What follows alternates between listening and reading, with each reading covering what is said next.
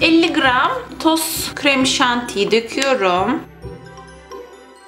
Üstüne 50 gram soğuk su ilave ettim. Toplamda 115 gram etti. Şimdi ikisini çırpıcı ile çırpıyorum.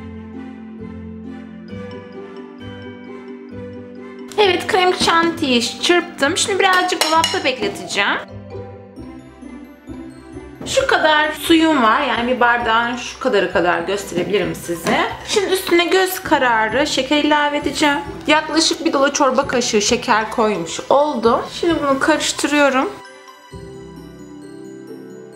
Şeker eriyince kenara alabilirsiniz. Evet, tekrar bir karıştırıyorum. Karıştırdım. Şimdi üstüne ganaj koyacağım. 2 katı kadar koyacağım. Yani 115 gram krem şantim varsa 230 gram kadar ganajı koyacağım.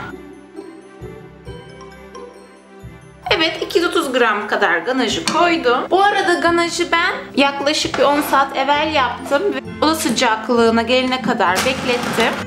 Şimdi karıştırıyorum.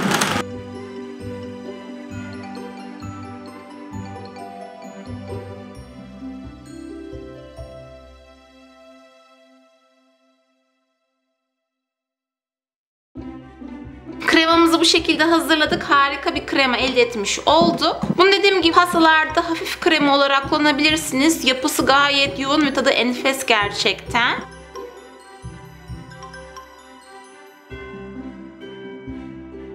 Kekimi ileri geri hareketlerle kesiyorum. Bir tanesini şöyle koyuyorum. Bunu da alıyorum. Tersine çeviriyorum. Evet bunu kenara alıyorum. Bunu kesiyorum şimdi. Bunu koyuyorum. Bunu kenara alıyorum. Üstündeki katmanı da şu şekilde alıyorum. Ve bunu ters çeviriyorum. Çapının geniş kısmını kullanmak istiyorum. Diğer taraf bombe birazcık altın çapı daha az. Bunun daha fazla olduğu için, bunlardan daha eşit olduğu için bu tarafı kullanıyorum. Bunu da kek niyetine mideye götürebilirsiniz. Şimdi şekerli suyumuz var. Bakın. Her tarafını ıslatıyorum. Her tarafını en az bir kere hatta iki kere ıslatabilirsiniz. Eğer kekiniz yoğunsa iki kere ıslatmayı yapın.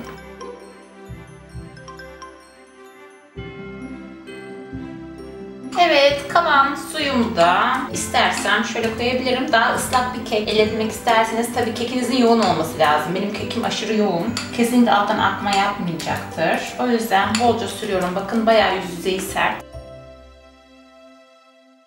Öncelikle bir katını ayırıyoruz. İki tabanın üzerine çalışacağım. Kremamız burada hazır. Harika bir krema hazırladık. Şimdi üstüne koyuyorum.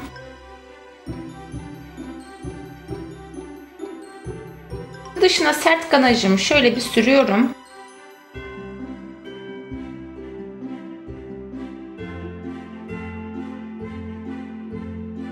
Evet dışına havuz şeklinde hazırladık.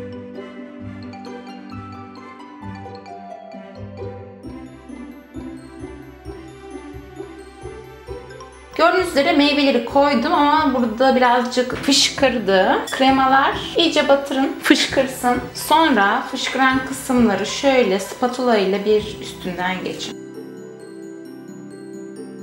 Üstünü de alın, şöyle kapatın çilekleri.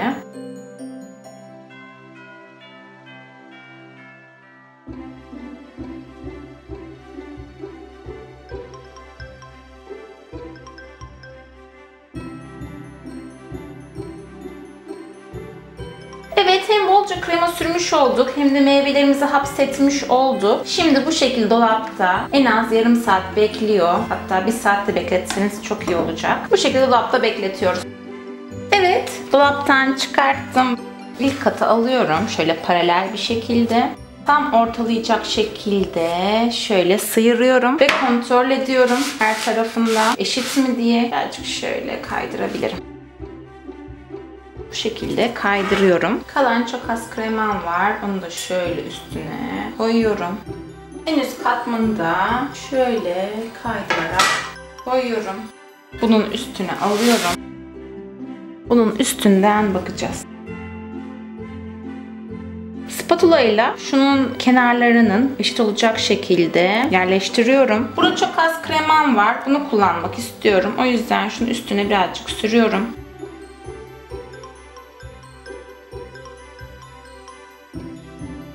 Şimdi ganajımı alıyorum.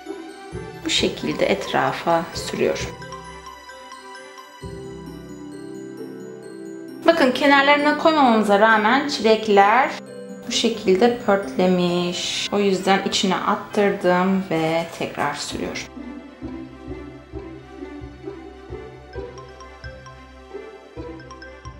Evet şu anda krema bayağı yumuşak. O yüzden dolaba koyup sertleşmesi için biraz bekleyeceğim. Sonra ikinci kat ganajımı süreceğim.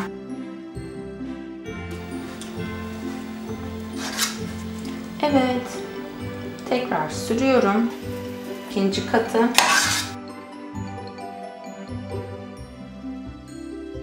Şimdi elinize bir L cetvel alın. Herhangi bir kırtasiyeden aldığınız L cetvel olabilir. Şöyle sıyırın. Tekrar eksik alanları doldurun. Bu aşamada artık pastamızı düzleştiriyoruz. Kalanları da içe doğru alabilirsiniz.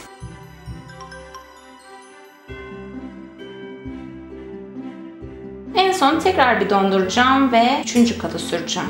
Evet en son rötuşları yapıyorum.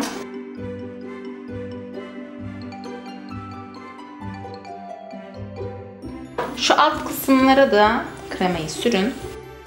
Çünkü alta ayrıca sürmek gerekiyor. Gelmiyor oraya.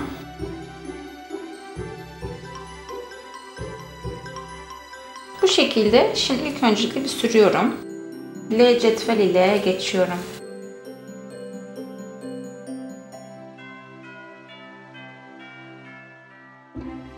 Gördüğünüz üzere bu aşamada aslında ganajla çalışmak çok kolay değil. Bayağı bir keskin kenar yapmak uğraşmanız gerekiyor ganajın yapısından ötürü. Çünkü sertleşince ganaj çok kolay çalışması olmuyor açıkçası. Üstüne mesela bir e, krem şanti ile geçersiniz. Harika bir görüntü elde edebiliyorsunuz pastanızda. Ama benim şu anda pastam o şekilde değil. O yüzden bu şekilde ilerliyor. Boşlukları ganajla kapatıyorum. Üstü zaten aslında full e, kapanacak. O yüzden çok uğraşmamız da gerek yok. Sisteminize göre hareket etmeniz gerekiyor.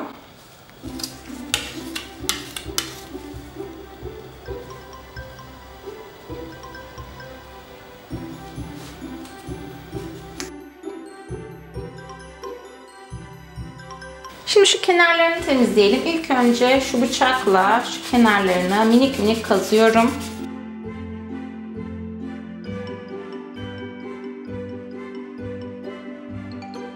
Şimdi hazırlamış olduğum süsleri üstüne koyacağım. Bir tane güzel bir ön belirleyin kendinize.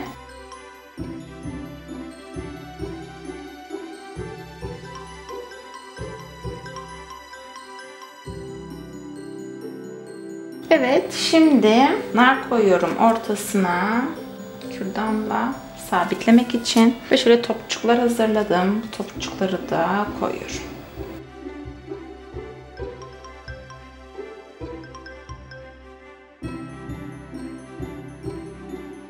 Evet, topçuklarımızı da bu şekilde koyduk.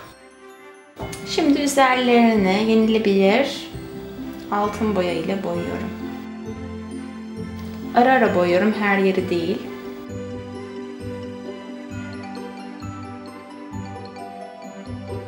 Şimdi bu tarafını hazırlayalım.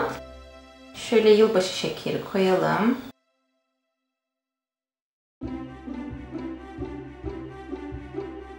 Üzerine şeker hamurundan bir tane figür koyuyorum. Şu şekilde narın üstünden gelerek ve kart taneleri koyuyorum.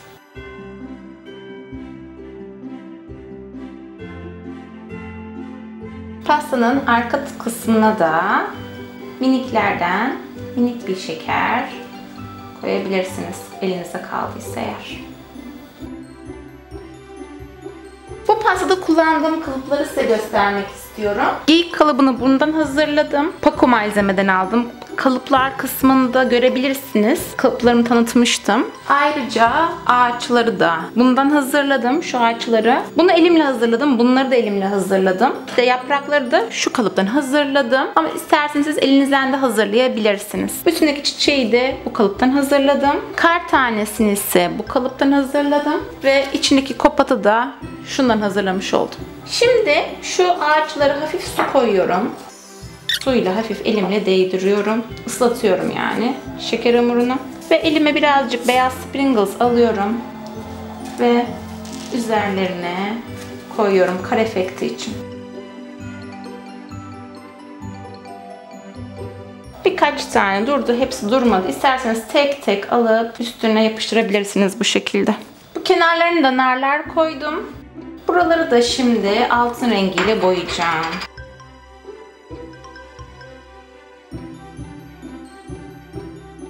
Arkası da önü de gayet süslü bir pasta oldu. Pastamız da bu şekilde hazır. Yeni yılınız kutlu olsun.